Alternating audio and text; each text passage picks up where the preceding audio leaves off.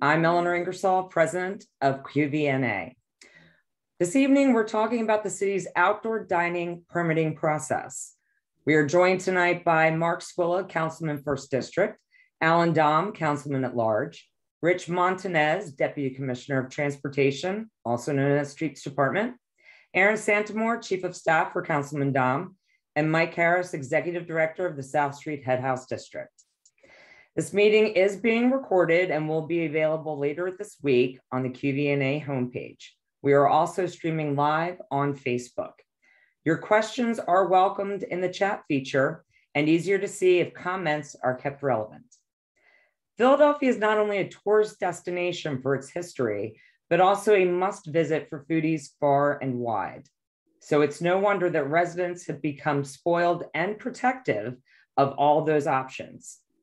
Innovations and standards by restaurateurs and chefs in this city are recognized nationally. Queen Village can proudly call its own two chefs nominated for the James Beard Awards.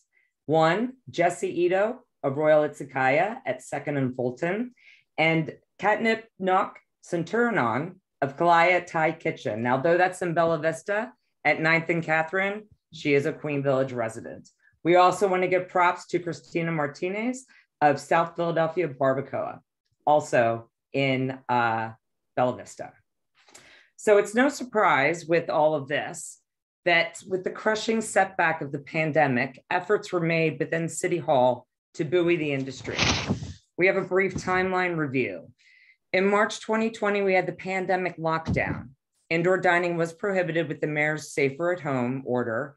Restaurants then spent four months adjusting budgets and outreach to accommodate a takeout only business model, not to mention supply chain woes.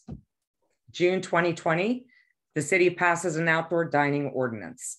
With indoor dining still prohibited, the city threw the restaurant industry a lifeline by permitting restaurant dining to take place at sidewalk cafes, streeteries, private lots, and streets and uh, street enclosures. They all required a permit and were fast tracked to stem the tide of crisis for the industry. Permits for this extended through 2020. In November of 2020, indoor dining was again briefly halted and the outdoor dining permits were extended once more through the end of 2021. September 2021, the bill was proposed by Councilman Domb, authorizing streeteries in Center City, University City, and other business districts like Fishtown, Old City, East Passyunk, Northern Liberties, Manayunk, the entire third council district, Spring Garden, Fairmount Avenue, and Germantown Avenue. I'm sure I didn't name them all, but you get the idea. So Councilman Domb, I'd like to start with you. You sponsored the legislation. Can you tell me why? Was it an observation? Was it what you were hearing from constituents? What led to uh, the call for action? Thank you, Eleanor, and thank you to your team for really being a tremendous leader and uh, reaching out to us whenever you have issues in your neighborhood. And uh, we appreciate that. And you're doing a great job, and so is your team. And also, I just want to mention Councilman Squilla Happy to join you in his district. Does a great job. One of my favorite council members. And Rich Montanero also does a great job. He's here from the Streets Department. And Mike Harris, good to see you on South Street and appreciate all you're doing. So here's what occurred. In April, we heard from a lot of restaurants. Eryn Santamoor, my chief of staff, who's on this call tonight, formed with me a hospitality group where we got all these restaurants together, hotels, and catering people who were really out of business flat out of business. This was April of 2020. And we started going on Zoom and forming these calls to find out from them what could we do to be of help to the restaurants, catering people, and hotels. And they came up with the ideas. We had over 75 people on this call. They're the ones who had the ideas of we need the ability to continue to keep our restaurants open with outdoor seating, outdoor uh, outdoor uh, dining, and giving us the ability to keep people employed. And keep in mind, when you talk about employees in hospitality, the majority, I'd say over 90%, are Philadelphia residents. So it's extremely important that we keep employment in that marketplace. So this is how this occurred. And then we went to the uh, streets department with the ideas of the streetery legislation and they, uh, Streets and L and I did a great job in reviewing it. We had the uh, bill put through, council approved it unanimously, I believe And one of the great parts of the bill was that the they had to give approval for the licenses. I think it was a three-day right of approval, which everyone pretty much complied with. The, I got to give the administration a lot of credit during the pandemic. Getting something approved in three days was pretty amazing. Also taught me a lesson, and that is to put time frames in legislation. Very important lesson. So um, that extended, uh, I guess, for about a year. It was expiring the end of, I think, was it 2020 maybe? We renewed it again. And then we put in the mechanisms for permanency. Just to be clear, and I'll just outline a few of those items. The permanency does not allow any outdoor dining or streeteries in traffic lanes. So you'll see like on 13th Street, you know, a good portion of 13th Street can no longer have outdoor dining. On 18th Street, the west side can't have outdoor dining. And there's other streets, streeteries across the city that cannot have outdoor dining because they were in traffic lanes. I think at one point we had about 835 licenses for this. And my guesstimate, a strictly a guess, that we may wind up with 200 to 300 at the end of the day if we're lucky. Might even be less because probably half of them were in traffic lanes and a lot of other restaurateurs just took them down and don't need them. But for those that have kept them up, it really is unique for the city. People love them. There's still people who won't eat indoors. And look what's happening now. We're back back to masks again as of this week. So we still have a ton of people who won't go inside and eat. This gives them the opportunity to still have some fun. And I will say this during the pandemic, for two years, if you lived in a building that didn't have a balcony or didn't have any outdoor space, I know row homes do, but if you lived in one of these multi-family buildings, the only time you got to take off your mask was sitting outside eating at a restaurant. There was not a lot of fun going on in the city, but restaurants did provide that fun.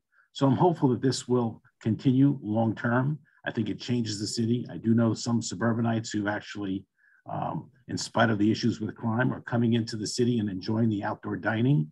So I think it's a, a great, a great, uh, really lesson that we learned from the pandemic on how to make the city a little different. So that's kind of the overview on the details of the new legislation. I'm going to leave that to uh, Rich Montanez, but that's the overview.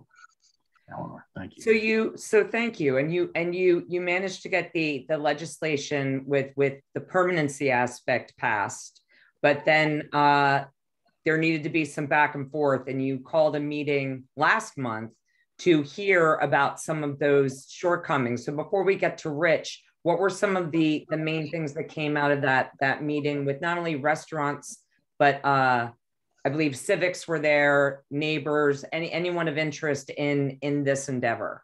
So let me just go back a bit.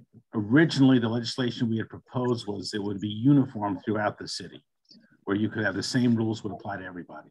There were some issues in certain council districts that they were concerned, so a compromise was reached, and about 65% or so of the city uh, could be uniform, and the other 35% would go through their district council members, which you know, we'll live with that. It, it's it's better to have that than nothing. it's a good thing. Um, but I will say that what happened was when the regulations came out, as much as we had some phone calls with the administration, there were some regulations that were just too onerous, especially for the small little neighborhood restaurants. And so those, that was where that Zoom call occurred about four or five weeks ago, where we had everybody on the call discussing those issues. And I'm hopeful that the administration has heard that and will work with us you know, one of them was a $60,000 bond, which is very difficult for a small restaurant to get a $60,000 bond because to get the bond, the insurance people have to underwrite the financial ability of the restaurant to show they have 60,000 of liquid assets, which most don't have. So once we explain that to the administration, I think they're going to be understanding about that and hopefully they're going to waive that, but I'll let Rich speak to some of those issues. But I think we're working together and we're trying to get this accomplished in a good way. Thank you very much, Councilman. Sure. And and uh, Rich, as I send it over to you, as as the councilman was mentioning, the legislation, of course, was passed. It was written broadly, but with parameters like the operating times, number of seats permitted outside, um, not encroaching on adjacent properties, and of course, uh, not no more in driving lanes. But again, referring to what Councilman Domb just referenced, there became a question of what was feasible and what was burdensome. So some of those things to mention that if, if we can touch on, um, for the look up a streetery, having to go through the art commission, um, where materials ended up landing, what requirements for maintenance, uh, propane generators, underground power lines, you know, from at least uh, some of the articles in the paper that kind of caught a lot of people off guard.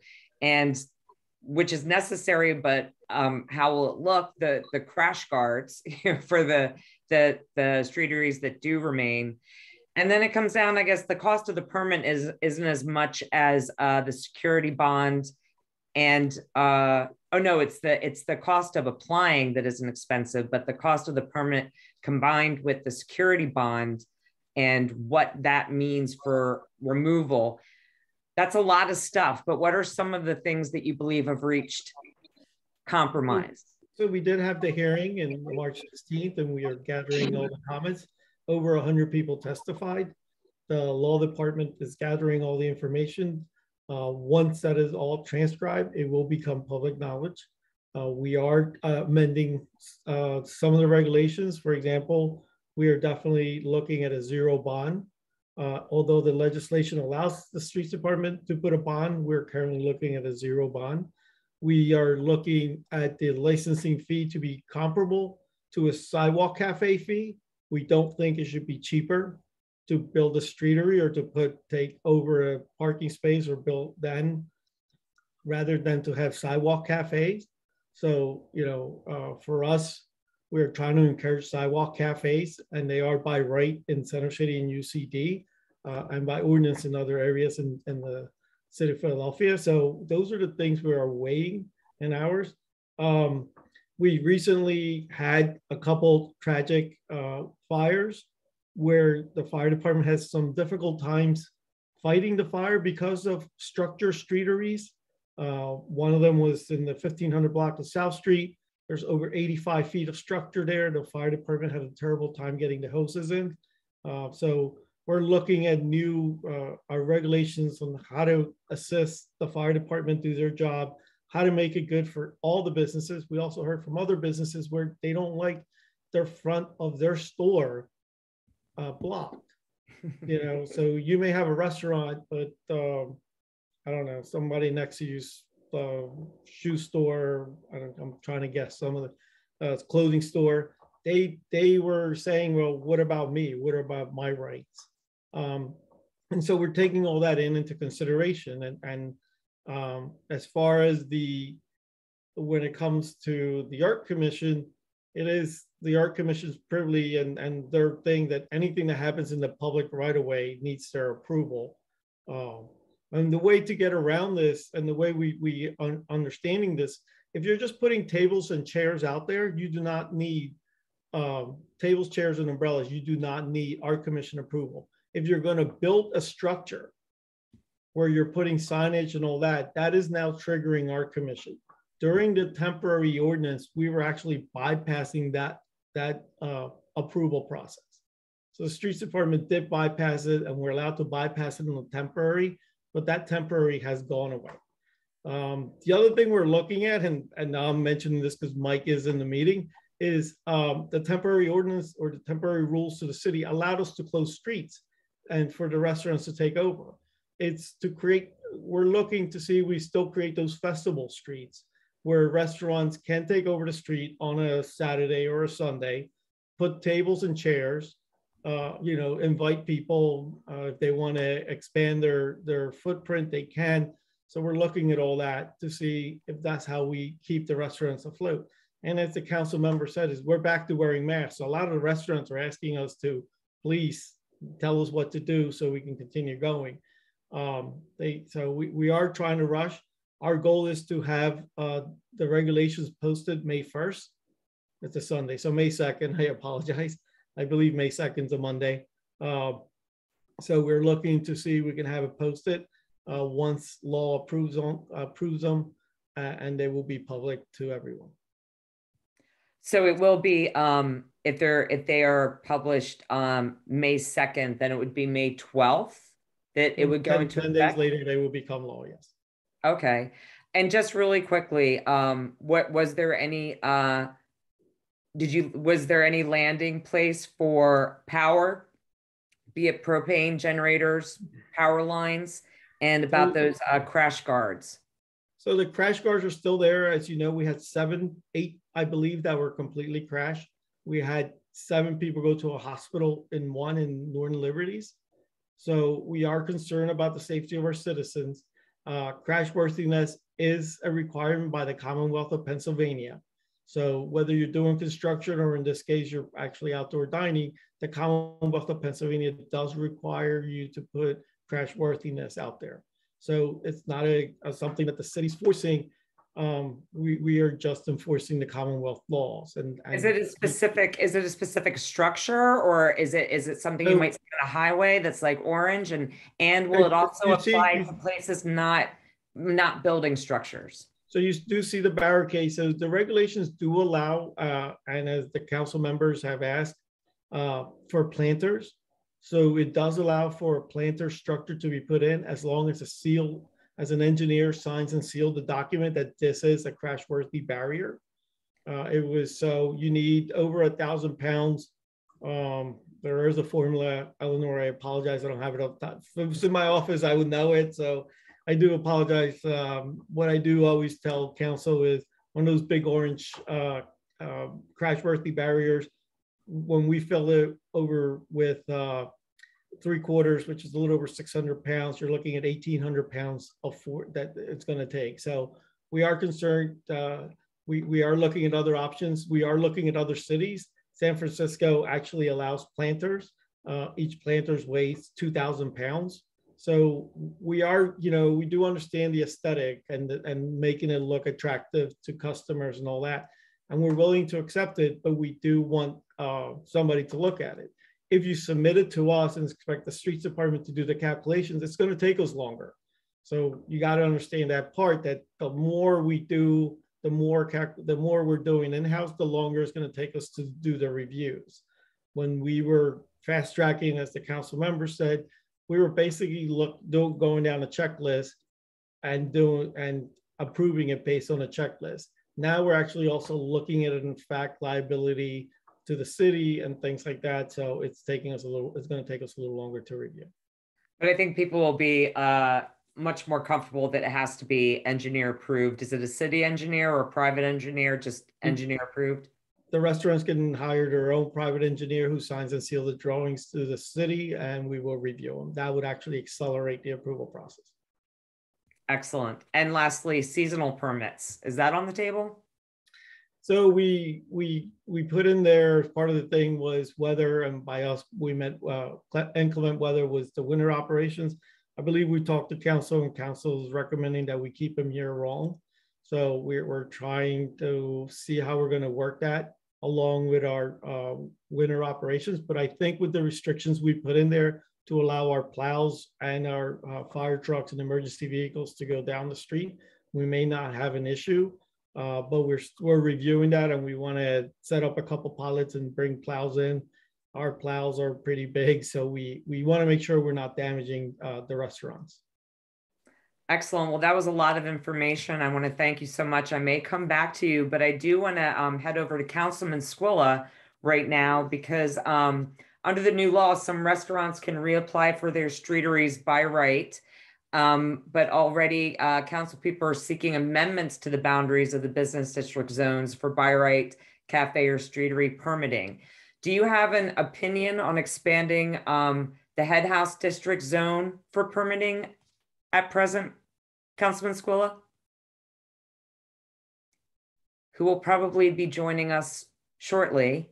So while we wait for um, him to rejoin, uh, Mike Harris from South Street Head House District. I wanted to ask you. Um, oh, I. Hey, Eleanor. Councilman, you're back I with us. apologize. Thank you. And um, I just wanted to add, um, I'll turn around here if that helps, um, that as this legislation worked through, we did have uh, some concerns with residential areas. Uh, some of the business improvement districts, commercial corridors will be by right by regulations that the streets come up with. There will be an application process, but the other areas outside that will need an ordinance, just like a sidewalk cafe does. And we did plenty of sidewalk cafes in Queens Village and South Street area. Um, and they would have community input and then it would be an ordinance like we did with sidewalk cafes. So they're still possible to have, but it would be input with communities and and we would have to follow the same process as we do with sidewalk cafes. I just wanted to make sure that was clear. And then the business improvement districts and commercial corridors will have uh, follow the regulations that are going to be promulgated by the streets department. I, and I maybe I missed it, but did they have a date when that would be completed? For the for the promulgation of the um, regulations and when they would have to apply for the current streeteries and and or the streeteries that would need an ordinance. Well, if if, if uh, Rich was saying that if they plan to get it out on um, May 2nd, so that would be May 12th that it opens up for application. Would that be correct? Yeah, that would be correct. So if, if you could, Councilman, very quickly, the for for applying for the ordinance, could you just refresh us on what what that in, involves for um, a sidewalk cafe outside of the business district? Yeah, they would apply just like they're applying for the uh, sidewalk cafe. You would apply for a streetery. It would be an application through the streets department process. They would have to submit a plan. Once that plan submitted, uh, they would need an ordinance to introduce it to um, through council.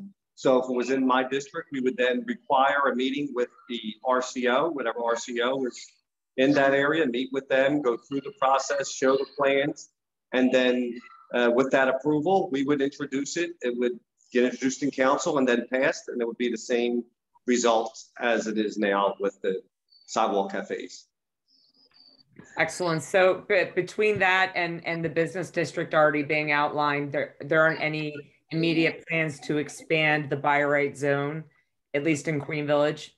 Mm, not unless it's requested by the community that they want it expanded.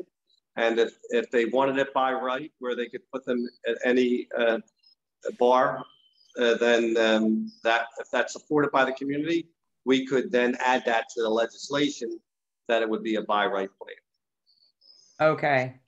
Okay, excellent. Thank you so much, Councilman.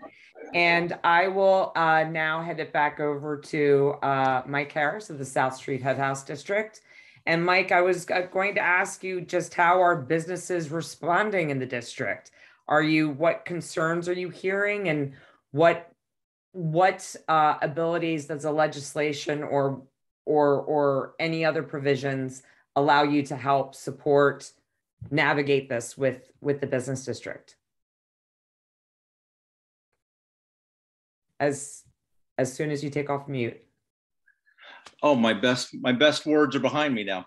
um, but uh, no, I said we should defer to Eryn because she's been a true champion uh, through this. But I do want to acknowledge Councilman Domb and Councilman Squilla and their leadership on this, and and Rich and Mike Carroll and others at the city.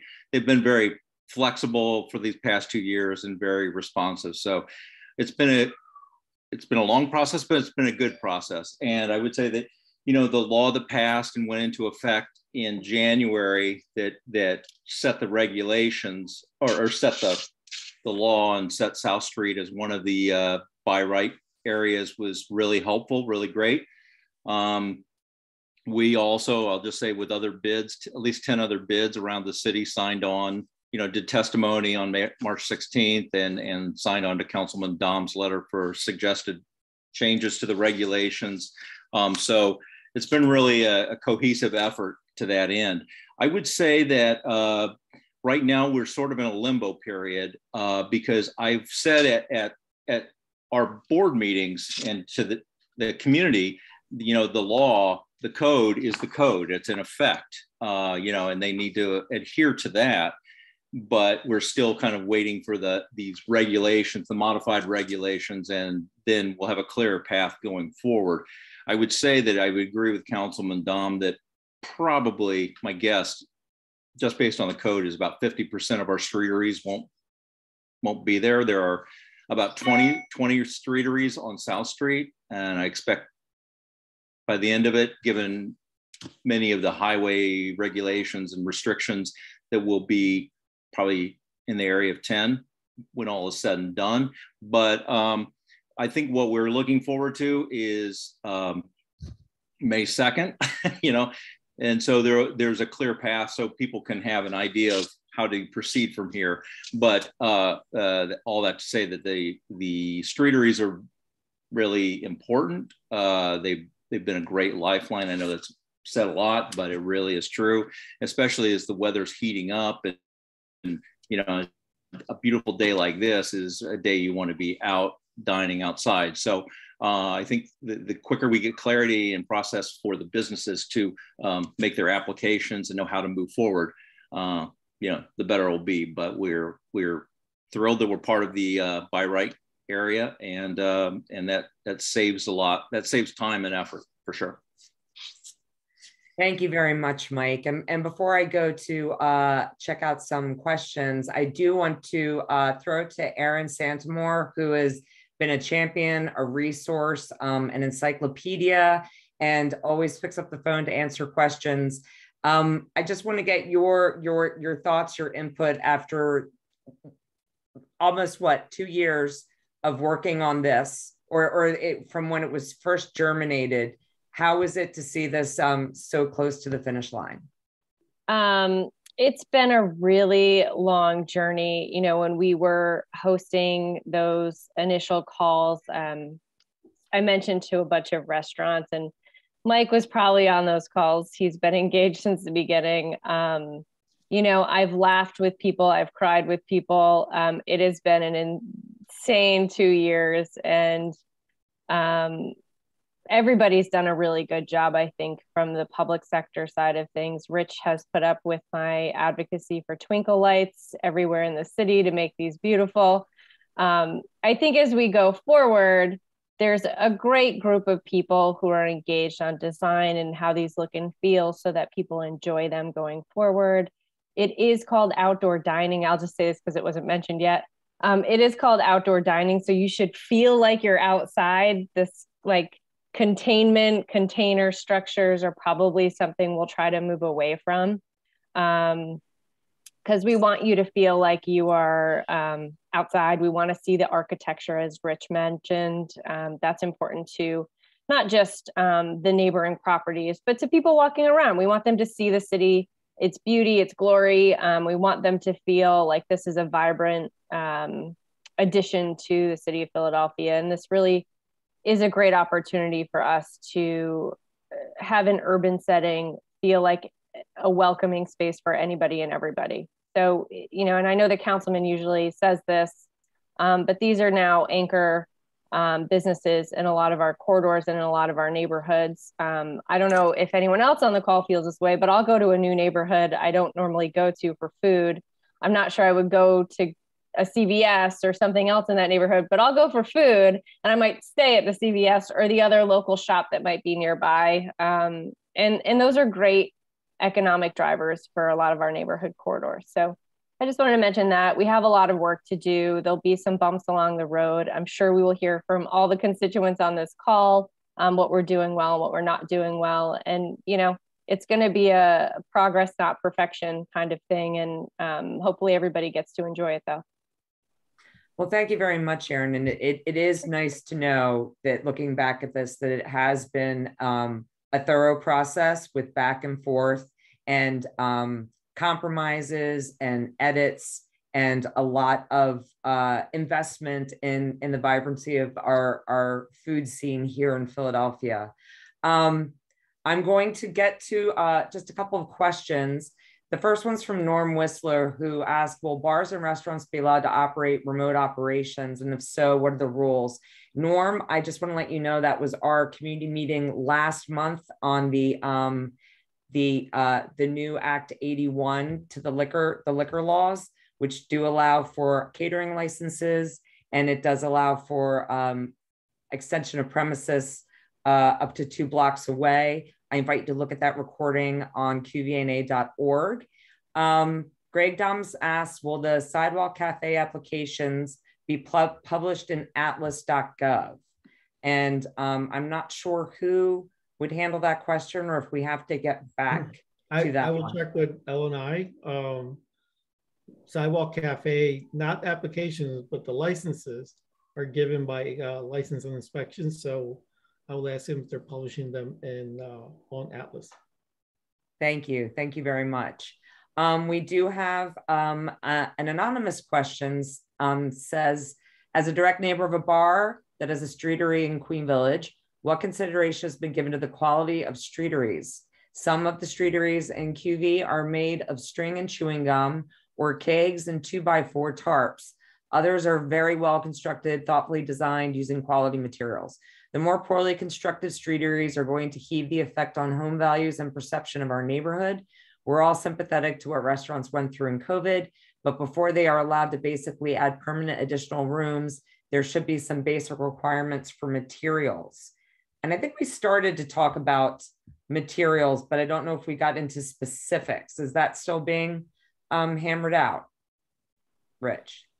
Uh, yeah, so some of the, for example, Councilman Allan Domb is very strong in, um, you know, for the streets department to pick three so-called uh, options where you can pick, you know, if you submit that, it kind of streamlines your application process where, where it basically dictates the material, building structure, things like that, similar to our parklet program. We do have three parklets that are currently approved.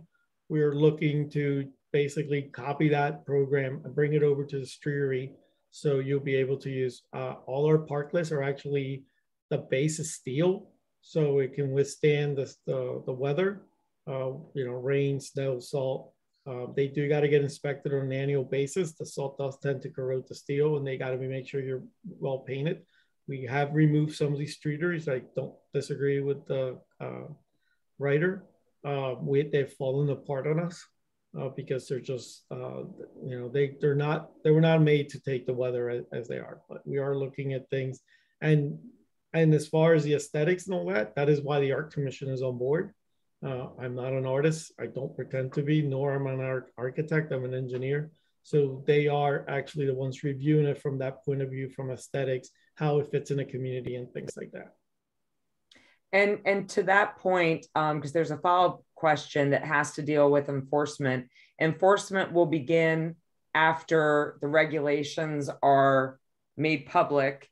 We're hoping May 2nd. So then enforcement will begin 10 days after that when the application process starts or when the applications are confirmed, the permit. We will begin with education. We, when we started the temporary program, we actually probably educated two or three times several restaurants altogether. I believe it was um, a little over 800 uh, flyers that uh, education flyers that we handed out um, at, to educate the, the, the businesses. But we will begin with education. Uh, if we constantly keep coming back, then yes, we will then start citing and eventually uh, ask L&I to remove the license. So, uh, but the way it works is any citizen can also call you can call 311. You can call the council members on the call. Uh, the streets department will come out, take a look at the establishment, and then uh, either the first thing we usually do is we try to talk to them. We do not want businesses to go out of business in the city of Philadelphia. So we will talk to them, but if we constantly keep coming back and it becomes a nuisance, there is a nuisance law in the bill, your license will not be renewed. Eleanor, if I could, if I could follow up on Rich just real quick on that same issue, we have just so you know, uh, you know, first of all, I don't think string and chewing gum is one of the three models Rich is going to propose, but uh, maybe who knows? Um, a, but we have basically said to our businesses that look at the look at the city code. You know, for the most part, you're already not.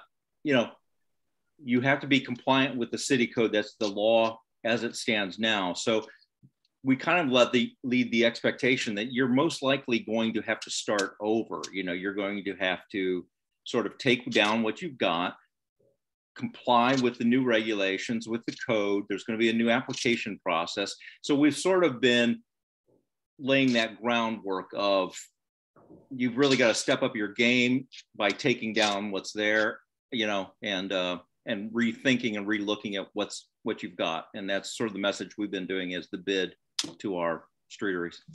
So your education process has begun, just as as as Rich was saying, as educating that that this are going to be the expectations that it's that it's only a matter of time before before this is not yeah. the education ends and and and maybe maybe uh violations start. Yeah, we're Eleanor, just kind of forewarning. Yeah, I mean, actually, a couple complaints we got on South Street. We actually, I actually called Mike first before I sent our people through. Mike went and talked to them, and they actually got their act straight before we showed up. So in essence, he did the education, and we didn't have to do anything. And by the time we showed up, they were back in compliance. That's good. That's good to hear because there is another question. Is it legal for streeteries to block the crosswalk like Paddy Whacks does at Second and South? No, and as the council member has told you, there are setbacks from all that, including crosswalk, stop signs, um, signals, I forget, uh, travel lanes. So uh, I believe Councilman Allan Domb mentioned that, that there are some setbacks and that's why he sees some of these. Fire And that was one of the concerns we had. I'm sorry, go Fire ahead. hydrants. Fire hydrants, yes. So we, it- the council built it into the, the ordinance that you cannot block any of these. Excellent, excellent. I'm seeing if there are any more, um, um, Eleanor, Eleanor, can I mention something? yes, please, please. I just want to say that, you know, here's an example. We have Rich Montanez working for the city, Deputy Commissioner, Streets Department. What a great job he's been doing. Really, Mhm. when you think about it, he, he's helped us tremendously get through this. We owe him a debt of gratitude. Uh, we have a lot of great city employees, but he's just one of them that really shines. I just want to call him out for that because just watching and listening to him on this meeting tonight makes me very proud. So, Rich, keep up the good work. You make us look good. Thank you very much. Just remember this when, when I'm in front of you for budget. I have a short memory. Well, we you're second, gonna say something, Mark? No, I was wondering, I was wondering what he wanted from you next. So I think he's being nice until the regulations are done. I'm not sure. Well, there's a, there's a lot of good information here and it's, it's to, to go back to Eryn, it is, it is a work of prog, in progress. It's going to, um, it's going to take education, it's going to take enforcement, 311 reports, communicating with the neighbor association, um, doing what we can to, to talk to businesses, to educate businesses, to, to educate everybody about this process. We'll definitely look um, forward to May 2nd and then again, May 12th. And I want to um, ask anybody if you have any closing comments. I just want to say, I mean, and I've been looking through the comments, if anybody feels like uh, you have a nuisance business or anything, let us know by calling 311. We will come out, take a look at it. Uh, and, or both council members here, their offices always tell us too, you know, the nuisance issues when we do go address them. So uh, we're here to listen and we are going to start the enforcement uh, periods now. More education. I apologize. I got to educate first and then we'll enforce. We don't want the businesses going out of business. Excellent. Well, I want to thank everybody very much. no. Thank you. to- I have something. Can I add something to that? Yes. Um, I just want to say that, as you said and Eryn said, it is a work in progress. But I will say this: I think it makes the city exciting. I think it gives us uh, a leg up on everybody else. I think we've done a great job with outdoor dining. There have been hiccups along the way, no question about it. But it's exciting to see people enjoying themselves, especially eating outside. That's the difference between living in Philadelphia and living out in the suburbs where you can't get that kind of feeling. So we need to keep doing things that make Philadelphia strong, better than everywhere else, and making it the best it can be. So I think this is one thing that is a work in progress, but it'll be really great for the city. Um, I'm going to, I think there was something, there somebody had a question or yes, I'm I'm trying to see. See, well, this, this question is starting to pinpoint specific businesses, which was where we were going tonight. Well, we Um, could have that, you know what, you can forward that information to us. Um, Mhm. the specific business information. We'll work with streets to, to look at those and see how we could either get them to comply or, or, or work with, uh, the community on those concerns. Um, eh, there are challenges out there. Some of these people do know, they're not educated on it. Some of them don't know, or some of them do know and decide not to follow it. So there's a lot of different things going on, but once I think the city gets our act together and hopefully it's not that much longer, uh, we'll have an, all the information that we could do, maybe a frequently asked questions or a, um, something that we could post so everybody could know exactly what it is that you should be looking for and what how we address those concerns. Excellent, excellent. I will do. I will forward those over to you, Councilman. Thank you so much. And um, if that is it, I want to say very much thank you to Councilman Mark Squilla and Allan Domb. I also thank you, Deputy Commissioner Montanez and Mike Harris, my neighbor from South Street Headhouse District. Give our thanks too to Eryn Santamoor. I appreciate all the information. Again, this recording will be available on the QVNA home site. And I want to thank you all very much, and we'll see you again next month. One thing, one more thing, Eleanor, I want to thank Rich Montanez also. I mean, he didn't have to jump on here, but his information is key to understanding, to have everybody understand this process. And so I want to thank Rich and the Streets Department for continuing to work on this uh, together with us. I appreciate it. And, And you, I'll- Eleanor, too, for bringing it. Thank you. And I'll jump in on that too, because now you're on speed dial, Rich, with everything and all things street. So thank you. Th- Thank you for making yourself available. It's I'm just representing the group that put all this together. That's all. There's a whole team behind me that did this. Well, thank you. Thank you all. And thank you everyone who joined us tonight uh, from the neighborhood and beyond. We will see you again in May. Have a good evening. Thank you.